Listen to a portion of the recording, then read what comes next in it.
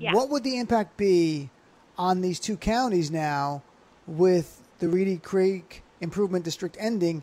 And specifically, as you note in your article, how much each taxpayer is going to be stuck paying for Ron DeSantis trying to run for president in 2024? Because this really is the Ron DeSantis tax. It's the DeSantis tax. Yeah. So he can run for Right. president. So what is the DeSantis Right. tax? What's it going to cost people?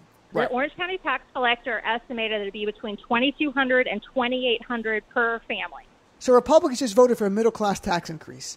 On middle class, lower class, everyone there is going to have to pay twenty two hundred to twenty eight hundred that per family of four, and that's the the minimum. So Ron DeSantis is going to run for president, and we're going to talk about how he raised tax on the middle class. So I love this. This is just the worst thing he's ever done, but the greatest at the same time. Let's play pretend that this is not a political ploy and that the grievance against Disney is legit. What they're Right. actually complaining about is speech from the corporate head honchos mm-hmm. and speech from the content creators. The entertainment side, that video of them, oh, we want to, you know, they're they're convinced that Disney's going to corrupt all their children. What they're doing, they're not going after the content creators. They're going after the blue collar workers and first responders. Reedy Creek directly employs 800 people.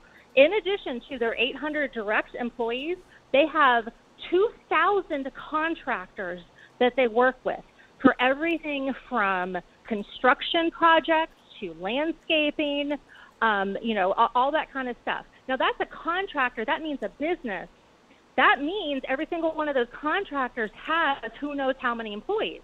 I don't have that figure because no one's done an economic study to find out.